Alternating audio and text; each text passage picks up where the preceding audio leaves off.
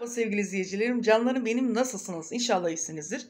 Bu videomda eee, Türkiye toplumu olarak kendi halkına, komşusuna, işte akrabasına ya da aile içerisinde eee, insan olarak yaşam ve özgürlükleri noktasında hoşgörülü olmayıp ama bir eee, kendi ülkesine gelen turistlere hoşgörülü olmasının temel sebebini anlatacağım, anlatmaya çalışacağım. Bunun sebebi nedir? Yani şöyle bir şey. Gerçekten bu toplum olarak e, bir sorun. Kendi milletimize hoşgörülü değiliz. Sonra diyoruz ki elin yabancısı yaptığında o yabancıya onun kültürleri öyle diyorlar. Tamam mı? Kültür değişebilir. Bu senin kendi kültürün içerisinde de olabilir.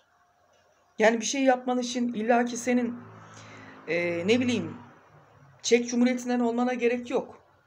Ya da e, Londra'dan olmana gerek yok. Ya da Amerika'da yaşıyor olmana gerek yok. Neticede insanlar dünyanın her yerinde aynı şeyleri yapıyorlar.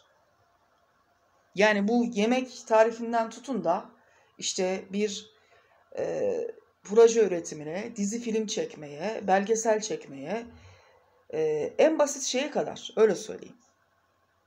Kendi milletini niye küçümsüyorsun ki? Yani olabilir. Yani coğrafya kaderindir biraz. Doğru ama hayatını değiştirmek senin elinde. Olmayacak diye bir şey var mı? Yok. Olmayacak diye bir şey yok. O zaman mücadeleye devam edeceğiz sevgili arkadaşlarım, sevgili izleyenlerim. Bu mücadele noktasında elbette ki çok mücadele noktasında insanlar yoruluyorlar. Yoruluyorum. Yoruluyorsunuz. Ama şimdi bakıyorsunuz Antalya'ya gelmiş bir Alman turist ya da işte başka milletlerden onun rahat rahat hayatını yaşamasına saygı duyuyorlar. Niye? Onlarda insan hakkı var diyorlar. Tamam insan hakkı var. Ama insan hakkı bu ülkede de olabilir. Olmayacak diye bir kural mı var? Sen belli bir coğrafyada doğdun diye Allah sana akıl vermiş, fikir vermiş. Sanki örf adet gelenek olmakla her şey mantıklı mı Allah aşkına? Bilmem anlatabiliyor. Mesela ben şöyle söyleyeyim. Ben çocukluğumda e, düğünlerde bana elime kına yakarlardı. Şimdi kına yakmayı hiç sevmiyorum. Yani size yeminle e, geleneksel tatları hiç sevmiyorum. Bak Allah güç gitmesin baklava, işte dilber dudağı bilmem ne falan filan hiç ilgimi çekmiyor. Daha çok e, Avrupa tatlarını, Amerikan pastalarını daha çok seviyorum. Bilmem anlatabildim mi? Bunları daha çok seviyorum lezzeti daha iyi geliyor bana. Ama mesela yemek kültürüne baktığınızda pide de yerim, pizza da yerim, hamburger de yerim. Her tarzdan yerim. Her tarzdan yerim sevgili izleyenlerim. Ee, yani sanki böyle hamburger yemek için illaki Amerikalı mı olmak gerekiyor? Yok. Sanki onlar e, başka bir ülkede olunca ayran içmiyorlar mı? İçiyorlar. Dünyanın en iyi içeceği ayran. İşte size milli içki. Milli içki. Milli içki sevgili izleyenlerim. Ayran milli içki. Canlarım benim, fanlarım benim. Ayran milli içki. Ayran içebiliyorsunuz. Hatta ben beslenme antropolojisi dersinde görmüştüm. Ayran milli içki. Yani şimdi mesela e, sinema sektöründe işte e, insanların değişik e, kategorilerde, sektörlerde filmlerini izliyorum. Diyorum ki bunu bizim Türk insanı da yapar. Ama şimdi mesela Türk insanına hitap eden başka bir şey. Biliyorsunuz bizler duygusal toplumuz ve e, dedikoduyu da seven bir milletiz. Bu bizim damarımızda var. Konuşmasak çatlayan bir milletiz. E, yapımız böyle öyle söyleyeyim. Ama bana soracaksınız dedikoduyu sevmiyor musunuz? Sevmem yani bana ne başkasının hayatında. Ben kendi hayatımı yaşarım, kendi yoluma devam ederim. Bilmem anlatabiliyorum. Sonra yol alırım. Yol alırım sevgili arkadaşlar, sevgili izleyenler. Ee, Neyse ben şunu istiyorum Türkiye halkı olarak. Lütfen kendi milletinizin insanına saygılı olun. Onlar da hayatlarını yaşasınlar. Hiçbir şey ayıp değil, günah değil. İnsani haklarınızı, temel haklarınızı lütfen yaşayınız. Temel haklarınızı yaşamazsanız eğer pişman olursunuz, geri kalırsınız. Bilmem anlatabiliyor muyum? Bir şey yaşamak için illaki Avrupa'da olmaya gerekmiyor. Asyalı olmaya gerekmiyor. Afrikalı olmaya gerekmiyor. Bilmem anlatabiliyor muyum? Yaşayın ya. Bu dünyaya bir kez geldik herkes hayatını yaşasın. Kimse üzülmeye ağlamaya gelmedi bu dünyaya. Kimsenin kimseyi üzmeye e, hakkı yok. Ve ben ebeveynlere sesleniyorum. Lütfen, lütfen evlatlarınızı topluma tercih etmeyiniz. Onları yapacakları konusunda destekleyiniz, destek olunuz. Bunu yapabiliriz. Neden yapmayalım? Mustafa Kemal Atatürk bu ülke vatandaşına çok güzel bir çizgi çizmiş. Dini de yaşa arkadaş, yoluna da bak demiş. İşine gücüne de bak demiş. İşte bu. Sanki insanlar daha öncesinde abdest alıp namaz kılıp oruç tutmuyor muydu? Tutuyordu. Ya ben 12 yaşında başladım oruç. Hatta 10 yaşında başladım.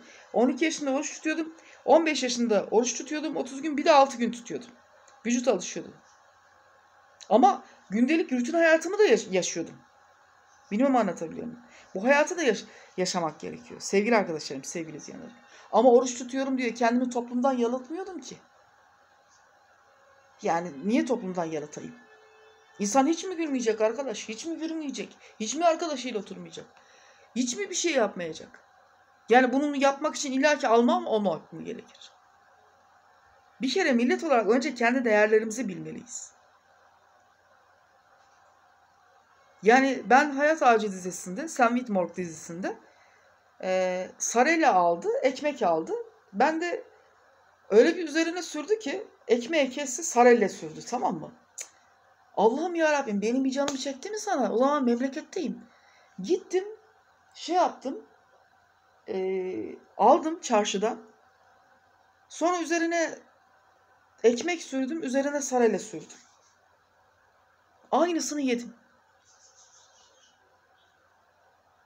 Yani dedim ki bunu yapmak için Hayat Ağacı dizisinde oynuyor olmaya gerek yokmuş.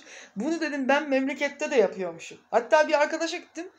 Diyor ki şey kızartıyor. E, patates kızartıyor. Ondan sonra adını sen deyiver. E, biber kızartıyor. Tamam mı? O dedim ne güzel koku geliyor. Ya televizyonda reklamda gördüm. Canım çekti falan filan. Bunu yapayım dedim diyor. Tamam mı? Birlikte oturduk yedik işte. Bunlar oluyor arkadaşlar. Yani hani canlarım benim, fanlarım benim. Lütfen dünyanın e, neresinde olursanız olun. İster Kars'ta olun, Ardahan'da olun, Adıyaman'da olun, Ankara'da olun, İstanbul'da olun, Edirne'de olun, e, Yunanistan'da olun. Dünyada insanlar hep ortak şeyler için yaşarlar. Ne iş yaparlarsa yapsınlar. Bilmem anlatabildim mi? Ne iş yaparlarsa yapsınlar. O yüzden e, bunlara dikkat etmek gerekiyor.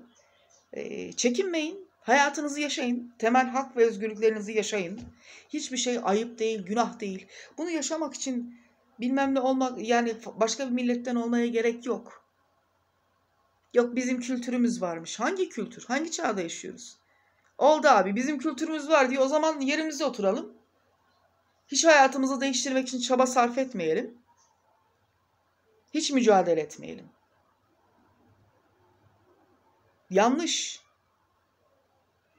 Yanlış. Elbette ki büyüklerine saygı, küçüklerine sevgi kültürü olacak. Bu kalsın ama Allah sana akıl fikir vermiş. Ee, hayatınızı yaşama noktasında bir şeyler siz karar vermeniz gerekiyor. Karar verin. Bilmem anlatabiliyor muyum? Canlarım benim, fanlarım benim. Ee, ben kendi milletimin insanın iyi olmasını istiyorum. Antropolojide şu geçer derler ki etnosantrizm diye bir şey vardır. Başka bir milletin diğer millete üstün olma, üstün görme çabasıdır. Evet, milletlerin ortak özelliği vardır ama milletler içerisinde, halklar içerisinde bile her insan bir dünyadır, farklıdır. Herkesin ayrı bir dünyası vardır. Herkesin ayrı bir dünyası var.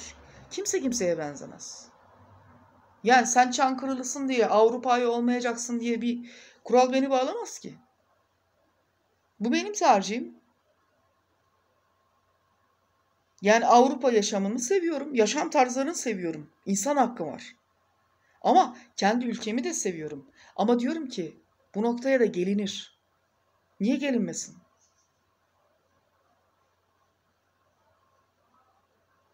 Olmayacak şey diye bir şey var mı? Yani genellemeler yapabilir mi? Yani Allah bilir. Yola çıkıyorsunuz başınıza ne geleceğini. Ya bana bir şey olmaz. Kimse bilemez ki. O yüzden yaşam tarzlarımızı lütfen hayatımızı yaşayalım, yaşam tarzlarımızı değiştirelim. Yaşam tarzınızı değiştirmek sizin elinizde. Her şey beyinde biter. Öncelikle beyninizi değiştirin.